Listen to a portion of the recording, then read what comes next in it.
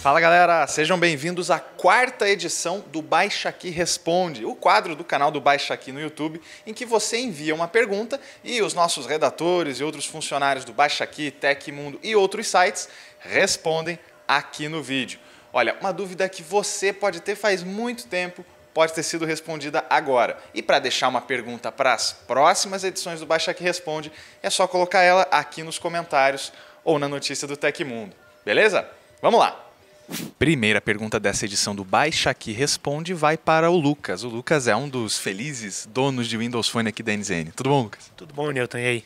Beleza, vamos lá. Primeira pergunta então é do Por Dentro. Ele tem uma dúvida sobre o Windows Phone 8.1. Ele quer saber, vai ter Cortana em português para o Windows Phone 8.1? É, então, é, a prioridade da Microsoft no momento é aprimorar a parte do inglês, né? Mas eles estão pensando já em implementar o inglês britânico e o chinês. Então, até o começo de 2015, no meio no máximo ali, essas duas linguagens vão estar bem implementadas. É, outras prioridades dele são o mercado asiático num todo e logo em seguida o espanhol, porque eles veem o, o mercado latino, né, que fala em espanhol, como um mercado bem promissor.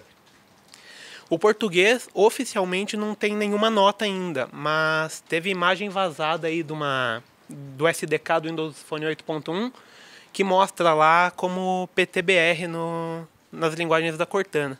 Então vamos esperar aí que até o fim do ano que vem eles resolvam isso pra gente. Pô, legal. Então tem alguma esperança, né? A briga vai ser boa aí com a Siri, com o Google Now. Vamos ficar na expectativa. Próxima pergunta. Segunda pergunta do nosso Baixa Aqui Responde vai para o redator Fábio Jordão. Tudo bom, Fábio? Beleza, e você? Eu tô bem, mas ó, tem um cara aqui que não tá bem não, ele tá com uma dúvida. É o Craft Gamer PC.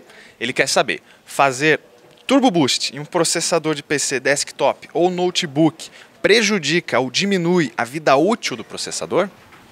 Então, Craft Gamer, é o seguinte, o Turbo Boost é, tem a tecnologia respectivamente da Intel e da AMD, ele é um tipo de overclock automático do processador e ele não prejudica nem a vida útil, nem o, o desempenho, por exemplo, ah, porque aquece mais, vai prejudicar o desempenho, não prejudica.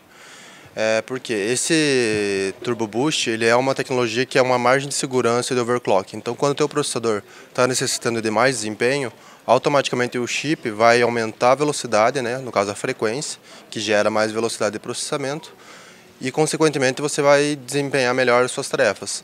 É, ele é preparado justamente para não afetar nem a questão do, da temperatura muito, tipo, ele trabalha dentro da margem de segurança e, portanto, não vai dar nenhum problema. Pelo menos, é, se existir uma redução de vida útil, vai ser tão mínima ali, porque um processador pode ter, sei lá, 5, 10 anos de vida útil, que reduz, digamos, um mês, ainda assim é insignificante perto do que ele foi programado.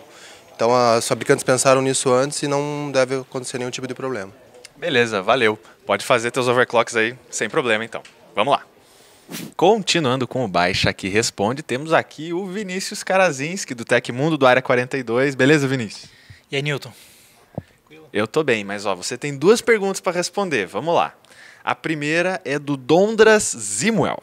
Ele quer saber como calcular a fonte necessária para o PC. Vinícius. Isso é uma pergunta muito legal. Para calcular, você precisa saber quanto que cada componente da sua máquina vai gastar aproximadamente. Não precisa saber exatamente assim não, mas é bom ter um valor aproximado. Por exemplo, processadores gastam aí processadores de última geração em torno de 90 watts, mais cerca de 50 da placa-mãe, cerca de 30 do DVD e uma placa de vídeo top de linha até 200. Então você soma todos esses valores todos os componentes que estão ligados na sua máquina e com isso você tem uma base da, do valor que você precisa na fonte. Você não precisa trabalhar com o valor exato da fonte também. É sempre bom ter uma margem, margem de sobra. Então, se você calcular aí, tua máquina consome 600 watts, pega uma fonte de 700 para garantir que não vai faltar energia. Se você vê na tela aqui, tem uma tabelinha com os valores aproximados aí de cada componente. Então você pode pegar esses valores e calcular aí na sua casa. Belezinha. E a diferença, o consumo, vale a pena fazer esse cálculo inteiro? Vale a pena, porque daí você acaba não comprando uma fonte muito mais forte, muito mais cara do que você precisa, Ou o contrário, você acaba de repente não comprando uma fonte muito fraca que não vai conseguir alimentar o seu sistema. Maravilha. Mas não vai embora que tem mais uma pergunta aqui. Ela é bem diferente, mudando completamente de assunto. Pergunta do Arthur Ferreira. Ele quer saber quais as diferenças entre os CUDA cores e os strings, string processors. Vamos lá. Então, os CUDA cores, na verdade, são o nome dos string processors nas placas da NVIDIA. Então é só o nome, eles são a mesma coisa. Assim como na, nas placas da AMD, eles são chamados de núcleos GCN, nas placas da NVIDIA eles são chamados de núcleos CUDA, mas eles são basicamente a mesma coisa. Ok, então, feito. Seguindo com o Baixa Aqui Responde. Vamos lá.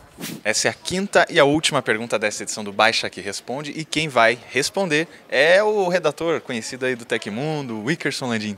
Tudo bom, Wickerson? Tudo bem, Newton?